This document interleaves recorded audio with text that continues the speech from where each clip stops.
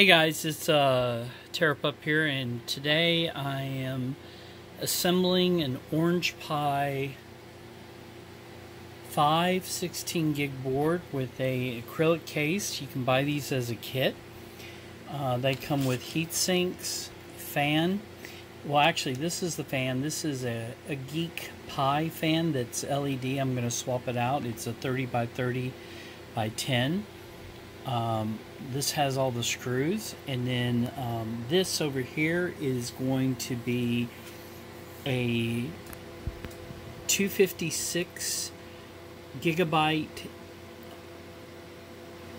2030 sorry 2230 M.2 NVMe and I'm going to add that to the bottom of the board. So let me go ahead and get the, uh, the parts out and we will start assembling this. Okay, so the kit that I bought from uh, AliExpress came with these heat sinks and this is for the CPU, the two 8 gig memories. This board has a total of 16. And then over here, I'll have to look that up. I believe that's the SPI. But no, the SPI is back here. I'll look it up, but that's how uh, it should be. We could put two more back here on these, but it only comes with the four, so I'm going to go ahead and pull off the tape. There's already uh, thermal tape on these so once I pull it off I'll just have to stick them on there.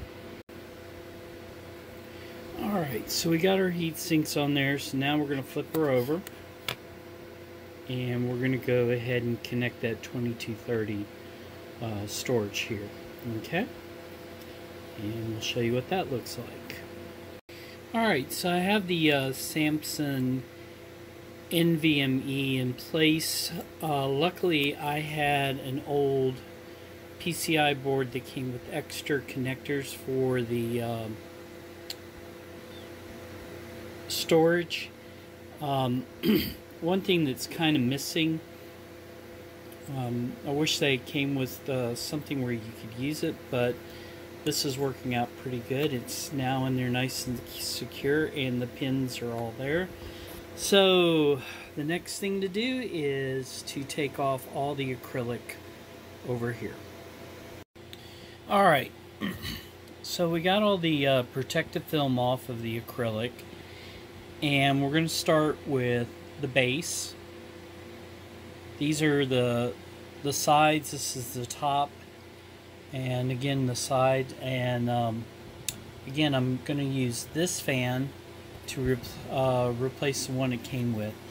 If you can find a tool like this, I would highly recommend for these hex, hex pieces.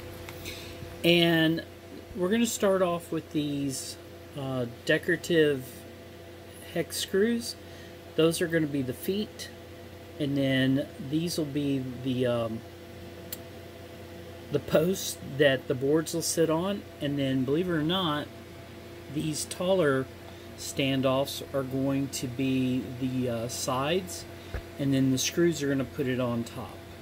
Alright so let's go ahead and get the base and we'll uh, then secure the uh, Pi with uh, these standoffs so again the uh, smaller standoffs with the uh, hex bolts. Okay?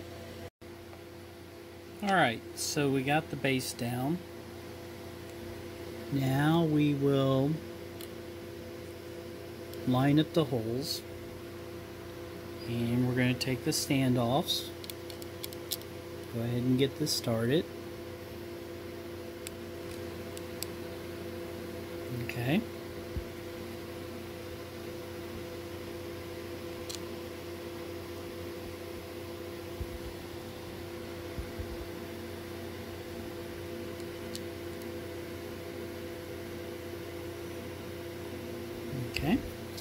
Now I'm to, whoops, that one's kind of crooked. I'm to tighten these down and then I'm to assemble the sides and then we'll put the top on.